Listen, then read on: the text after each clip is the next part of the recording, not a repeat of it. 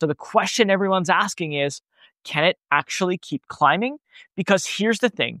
This company still makes zero revenue, but it's sitting on a billion dollars in assets and its losses are narrowing and it just posted a 14% improvement in adjusted EBITDA.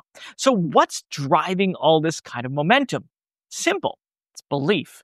Investors are betting and believing that QuantumScape's solid state battery technology, the ones that's backed by Volkswagen's PowerCo, will finally deliver.